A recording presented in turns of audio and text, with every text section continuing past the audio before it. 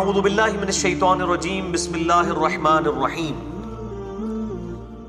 कुल अराइतुम इन जअलल्लाहु अलैकुमुल लैला सरमदन इला यौमिल क़ियामह ए महबूब सल्लल्लाहु अलैहि वसल्लम तुम इरशाद फरमा दो कि भला अगर अल्लाह ताला बना दे हमेशा के लिए कयामत के दिन तक तुम्हारे लिए रात मन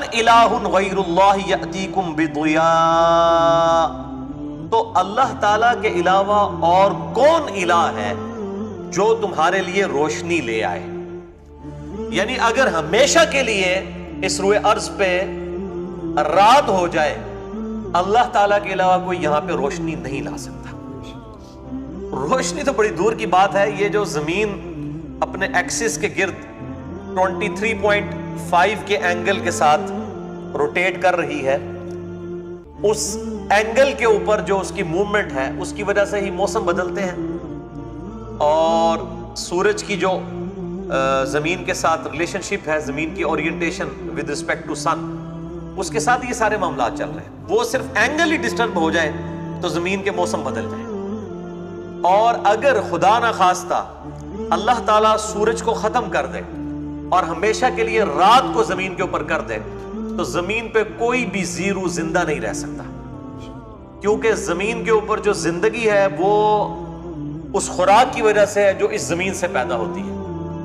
और उस ज़मीन को जो खुराक वाला मामला चल रहा है ज़मीन का, वो सूरज की वजह से सूरज की रोशनी की वजह से फोटोसिंथेसिस, जिसे हम जयाई तालीफ कहते हैं, उसकी वजह से पौधे अपनी खुराक तैयार करते हैं।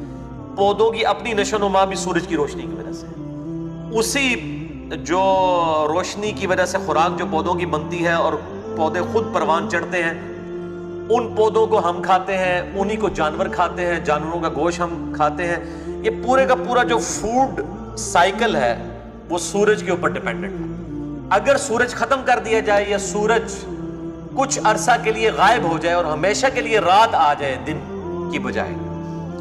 तो ज़मीन पे कोई ज़िंदगी भी कायम नहीं रह सकती, क्योंकि ज़ाहिर है कि पौधे अपनी खुराक नहीं बना सकेंगे, और जब खुराक खत्म हो जाएगी तो ज़ाहिर है कि ज़िंदगी खत्म हो जाएगी। तो इस जुमले की सेंसिटिविटी और इस जुमले की हसासियत और क्रिटिकलिटी जो आज हम पे खुल के सामने आई है, आज से पहले नहीं आई थी। पहले तो लोग ज़्यादा ज़्यादा ये सोचते होंगे कि यार सूरज नहीं होगा, रात होगी तो हम रोशनी के बगैर काम कैसे करेंगे? पहले तो लोगों को ये चीज़ें नहीं पता थी कि ये साइंटिफिक जो फैक्ट्स हैं फ़िज़िकल फिनमिना ऑफ़ नेचर ये सब के सब सूरज के ऊपर डिपेंडेंट है।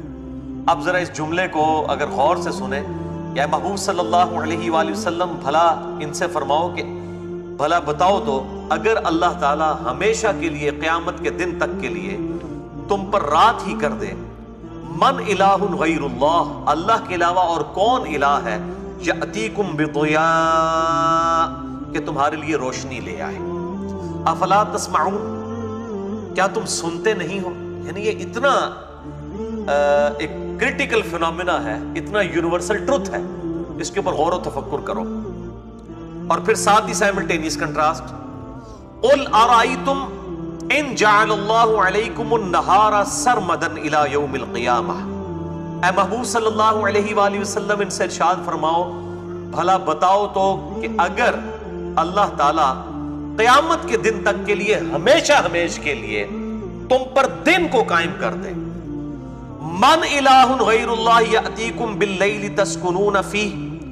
तो अल्लाह के अलावा और कौन इलाह है जो तुम्हारे लिए रात ले आए कि तुम उसमें आराम कर सको?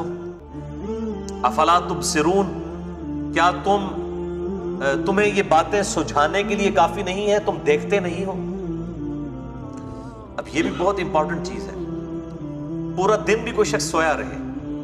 उसकी जो जिस्म की रिक्वायरमेंट है, उस वक्त तक पूरी नहीं होगी, जब तक कि रात के वक्त में आराम ना करे। ये तो अब साइंटिफिकली कई चीज़ें सामने आ रही है कि रात के वक्त हमारे जिस्म से ऐसे हार्मोन्स निकलते हैं, जो हमारे जिस्म के अंदर कुत मुदाफियत वाला मामला है। उसको सपोर्टिव होते हैं। और वो दिन को सोने से मसला हल नहीं होता। एक तो हमारा सबका कॉमन एक्सपीरियंस है कि आप पूरा दिन सोए रहे तो थकावट नहीं उतरती। लेकिन रात के औकात में चार से पाँच घंटे भी कोई आराम कर ले तो उसकी थकावट उतर जाती है। ये तो वो चीज़ है जो हम फिजिकली ऑब्ज़र्व करते हैं। कई एक हिडन चीज़ें हैं जो साइंटिफिक फैक्ट्स की वजह से नोन है अब, कि रात के औकात के अंदर जो सोना है, वो दिन की औकात के अंदर सोना उसके मुकाबले में कभी हो ही नहीं सकता। क्योंकि रात के वक्त जो शख्स आराम करता है, वो अल्लाह ताला ने रात को चूँकि जबिल्ली तौर पर और फ़िज़िकल फिनमिन ऑफ़ नेचर के कॉन्टेक्स्ट में बनाया ही इस एतबार से है कि इंसान के जिस्म को राहत मिलती है रात के वक्त सोने से। इसीलिए जो लोग शिफ्टों में जॉब्स करते हैं, आप देखेंगे अक्सर उनमें से लोग जो वक्त से पहले बूढ़े हो जाते हैं। और उसकी कई एक रीजन है, उनमें से एक ये भी है कि चूँकि दिन का टाइम जो है ये अल्लाह ताला ने तगोदो के लिए बनाया है फ़िक्र माश के लिए और रात का वक्त जो है वो सोने के लिए। तो जब नेचर को बदला जाएगा तो उसके नेगेटिव इफेक्ट्स सामने आएँगे। तो अल्लाह ताला मानता है कि अगर हम क्यामत के दिन तक के लिए, तुम पर हमेशा के लिए दिन ही दिन कर दें, अल्लाह के अलावा कौन सा इला है जो तुम्हारे लिए रात ले आए कि तुम उसमें आराम कर सको? वमिर रहमत ही नहार। ये उसी की रहमतों में से है कि जो उसने रात और दिन को बनाया।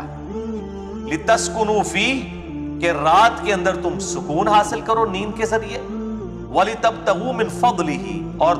दिन के औकात के अंदर उसका फजल तलाश करो, यानी माश वाला मामला करो वाला अल्लाह तशकरून, और ताकि तुम उसके शुक्र गुजार बन सको। यानी अल्लाह ताला की शुक्र गुजारी ये अल्टीमेट रिक्वायरमेंट है अल्लाह ताला की अपने बंदों से। एक तो शुक्र गुजारी है कि इंसान अपने ज़ुबान से शुक्र अदा करे। एक है फिजिकली उसके आज़ाद शुक्र अदा करें। अल्लाह ताला की नेमतों के जवाब में उसके आजा अल्लाह ताला की नाफरमानी ना करें। दी बेस्ट डेफिनेशन शुक्र की यह है कि जिस अल्लाह ने आँखें दी हैं, उन आँखों का शुक्र यह है कि उन आँखों के साथ अल्लाह की नाफरमानी ना हो। जिस अल्लाह ने जो है वो कान दिए हैं उन कानों के साथ अल्लाह की नाफरमानी ना हो। जिस अल्लाह ने हाथ दिए हैं उन हाथों के साथ अल्लाह की नाफरमानी ना हो। इसी तरीके से जितने आज़ा हैं इंसान के जिसम में ये सब के सब अल्लाह ताला के ताबे फरमान हो जाएँ तो ये फ़िज़िकल प्रैक्टिकल शुक्र गुजारी है। सिर्फ़ कोई जो है वो शुक्र अलहमदुल्ला कहता रहता है या अल्लाह ताला की हमद और तस्बिहात बयान करता रहता है और करतूत उसके जो है वो आ, बुरे हैं।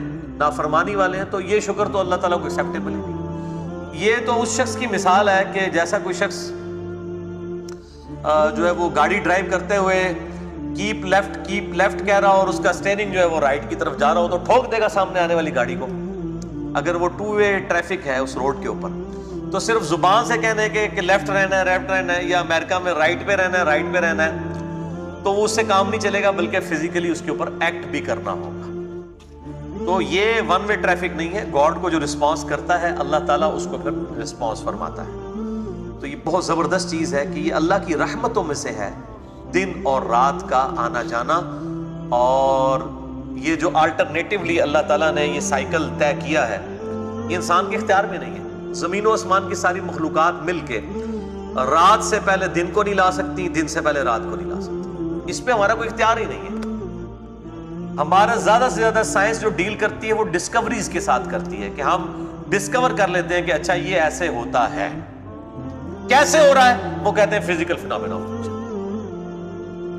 और उसी के पीछे खुदा है। इस पे मैंने बड़ा डिटेल लेक्चर दिया है, मसला number 128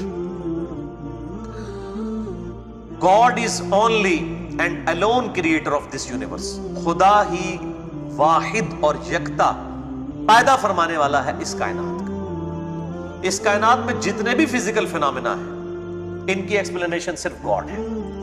God is the only explanation of all the physical phenomena in this universe इस कायनात में होने वाला हर जो फ़िज़िकल फिनोमिना है, जो हम ऑब्ज़र्व करते हैं, उसकी वाहिद एक्सप्लेनेशन ये है कि खुदा के करने से। इंसान के तो इख्तियार में कुछ भी नहीं। हम तो सिर्फ़ डिस्कवर करते हैं, दरियाफ्त करते हैं कि ऐसा होता है। हम दरियाफ्त करते हैं कि जी पौधे जो है वो फोटोसिंथेसिस के ज़रिए अपनी खुराक तैयार करते हैं। हम दरियाफ्त करते हैं कि जी पौधे जो हैं ये फलते फूलते हैं जो वो बारिश की वजह से और बारिश ज़मीन के अंदर जाती है, जज्ब होके, नमकियात के ज़रिए सारी, ये सारी सारी चीज़ें डिस्कवरीज है। हमारा इसमें कोई कंट्रीब्यूशन तो कुछ भी नहीं है। इस नेचर में जो कुछ हो रहा है, हम उसको सिर्फ़ ऑब्ज़र्व करके आगे बयान कर रहे होते हैं। इससे ज़्यादा कुछ भी तो ये सब की सब चीज़ें अल्लाह ताला के इख्तियार में है। इंसान के करने से ना तो ये चीज़ें बदल सकती हैं और ना इंसान इतनी तरक्की करने के बावजूद इन चीज़ों को अपने इख्तियार में ले सकता है। इंसान बड़ा लाचार है।